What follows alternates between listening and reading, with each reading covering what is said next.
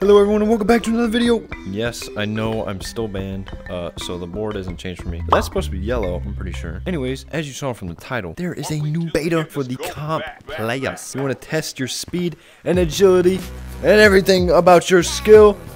New obstacle course for you. This looks pretty cool. Okay, these are not slippery. The wall, or the roof isn't slippery. Nice. Make it to the end of the obstacle course to unlock the competitive queue. Oh, so this is to unlock competitive. Oh, so this is just a show you're good enough to become a pro and compete at the comp league with the big boys. Like, Cracker. Considering I'm such a pro, let's, uh, I guess let's, um, this reminds me of Half-Life Alyx and like the, uh, the subway station. Oh, oh. There's actually slippery walls. And vibrations. Can you actually go up them though? Not that I can, or I can't. Maybe Pig can, maybe Pepsi D can, I don't know. But this looks like a little trash area. Also, I'm pink now, unfortunately. Um, I was brown? I don't know. So, let's go see what it looks like. Oh, so this is all, okay. Okay, so you can't go right there.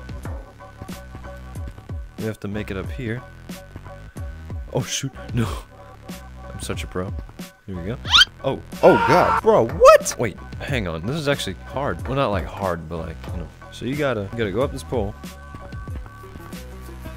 Then go across these. Come over here. And then this is slippery, so you have to go inside. Uh-huh. Okay, so you can see the shade in the wall. There's a difference! This is my training.